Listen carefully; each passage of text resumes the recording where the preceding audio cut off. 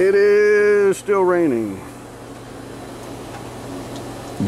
This is Wednesday, so I don't know. Supposed to clear up Friday, but then chance of rain Saturday again. But I don't know. We might still be able to have the pull. I don't know. We're trying to get a couple things ready for the pull. We got this. Uh, got to put a steel flywheel on this tractor. For one of our customers, we're having to on a stock John Deere, it just has four holes, bolts that hold the flywheel on. John Deere stock ones come like on a 4020, 4430 and stuff like that. They have four bolts. Some of these higher horsepower applications, we like to put a little bit more bolts in them. So sometimes we have to drill and put, uh, we have to drill and tap the crankshaft flange to put other bolts in. So put six bolts in there for what we're doing. So we gotta had to make this jig up to drill them straight. Machine this out of a chunk of steel to insert that in here in the hole that we're going to drill. Make a pretty good tight fit kind of a, a guide for the drill bit. You drill a hole. Don't want to drill any deeper than what this is. And then when I get the pilot holes drilled, I'll take this back and machine out for the the size drill bit that we're going to drill for the bolt hole to cut the threads. So yeah, that goes in there and so we got to get working on that.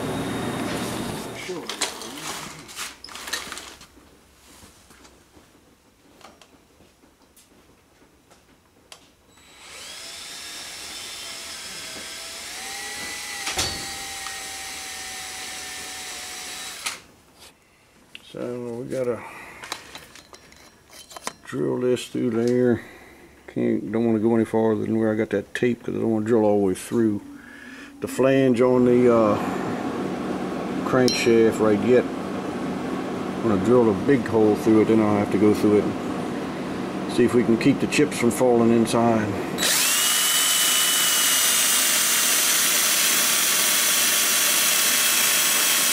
Hard part is getting enough pressure pushing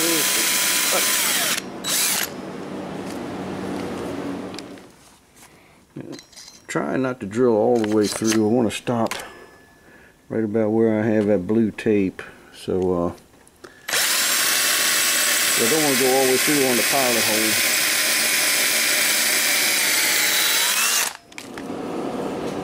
I got the pilot hole drilled.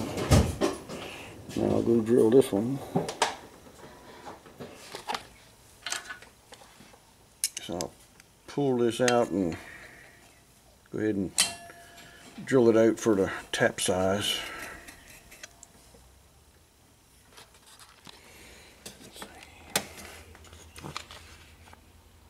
Twenty-seven sixty-four. Here we go. Chuck them up in the lathe.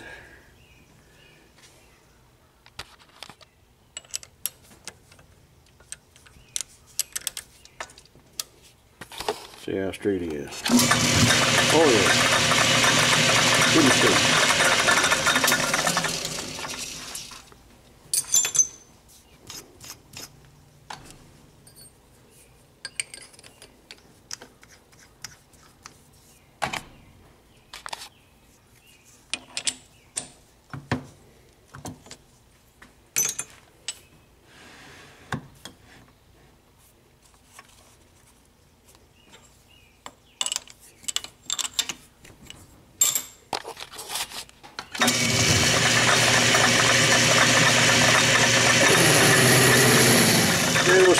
fast before, I slowed her down some. Peeling them off there a little better now the way I like it, not shattered.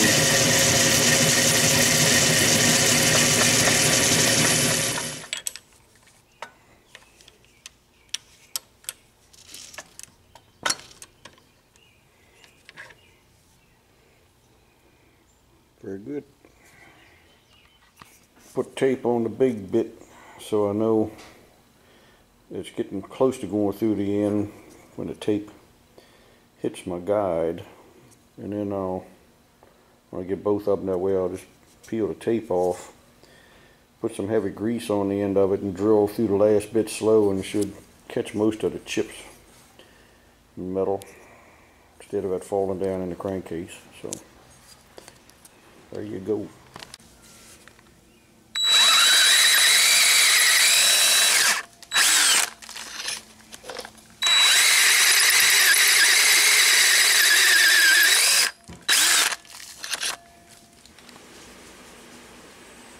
He's drilled out now we gotta tap it. Getting ready to do some tapping. Always use this tap magic on the tap. One of my viewers, an old friend of mine, will recognize this. He gave it to us years ago when he was working at uh, Chesapeake Marine Fasteners. hey, we uh, got the threads all in there. These are threaded holes. You may be wondering, maybe you weren't even wondering, I don't know. But in case you were, or even if you weren't wondering, how do we keep the chips from both drilling and tapping these holes from falling in the inside there and going down in the engine, the uh, metal shavings and all that? Well, we uh, simply took the air hose,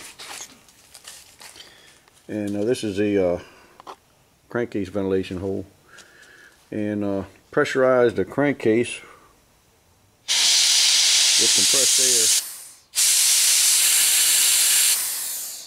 and let the air blow out through here all the chips, all the uh, metal shavings. And uh, blows everything this way instead of going down in the engine so. Thought that was a pretty good way to do it anyhow now we just got to chamfer the hole and I got to balance the flywheel. I got to put the ring gear on it. I got to get the balancing. I'd like to have this thing ready by Saturday. This is Wednesday. But I don't know, the weather's going to be right. We, the weather's just going to be one of them iffy kind of weathery days Saturday for the pool that uh, might keep people from coming even if it doesn't rain and I don't know, it could rain out. It just it just isn't a good situation. So I don't know what we're going to do. I'll update you, let you know. See ya.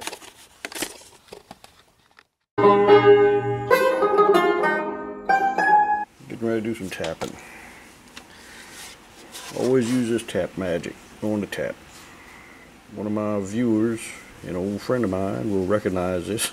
he gave it to us years ago when he was working at uh, Chesapeake Marine Fasteners.